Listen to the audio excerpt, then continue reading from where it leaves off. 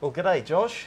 The purpose of this video is to introduce you to the people who support and who follow Good News Unlimited, Right. who love the gospel. Yep. And so, tell us a little bit about yourself. What's your day job, Josh? Yeah, so my name's Josh, and uh, I'm a pastor at Hillsong Church here Yeah. on the Gold Coast, and uh, yeah, help look after our our surface location here on the coast. Yeah, that's where I met you. I visited your church there at Burleigh and heard you speak, and I thought, this guy's awesome. We've got to get him involved with Good News Unlimited Yeah, mate, it's a pleasure. because you're all about good news. Absolutely.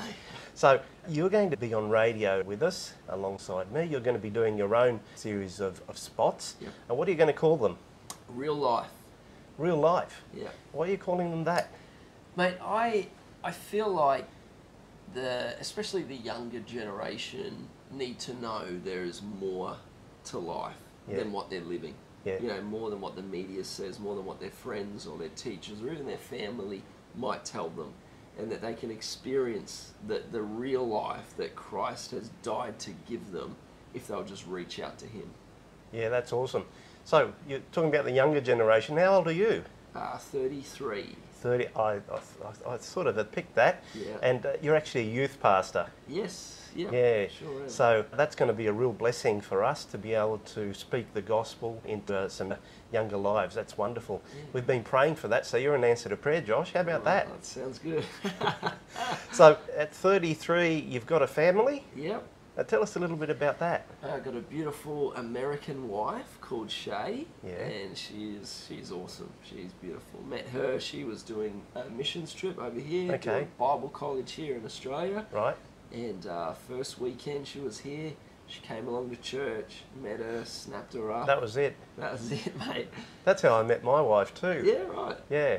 I was uh, speaking from the front. Yeah. She walked in the back. She was late, and I was just stunned. Wow. I mean, that was it for the sermon for that day. yeah. Yeah. So uh, married seven years now, Yeah. and two good. kids. Great. Got a little girl called Gracie, Yeah. who she's three and a half, and a little boy called Jude. He's six months old. Oh, just from that, I can tell you've got plenty of real life to share. Oh, mate, no doubt. They are full of life. Yeah, that's amazing. So, uh, tell us, Josh, what's your big vision, your big uh, dream for your life? Yeah, well, mate, since ever since I got saved, I've had one passion.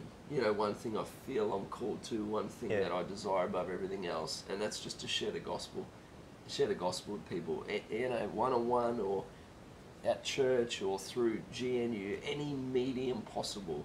You know, I just want to take every opportunity I'm given to reveal Jesus to people. You know, that's what that's what gets me excited, and that's why I'm so stoked to be be a part of GNU and, and what a great ministry just to spread the gospel as much as we can. That's amazing. You're you're as excited as I am. oh well, God bless you, and I know He's going to bless these radio spots that you've been recording today, haven't you? Sure have, mate. Yeah. How does it feel?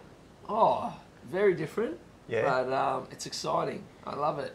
You know, it took a little while to get used to, but man, it's cool. Yeah, well, you're going to be reaching many thousands of people straight up. You know, we've been ringing the radio stations and told them uh, about you and the real life spots that you're putting together, and there's a real need out there to reach the young people. They know that, Yeah. they're excited, they can't wait for it. So it's wonderful. What a blessing it is. So good. It's a blessing to have you on board. Oh, Thanks, mate. Josh. Thanks for having me.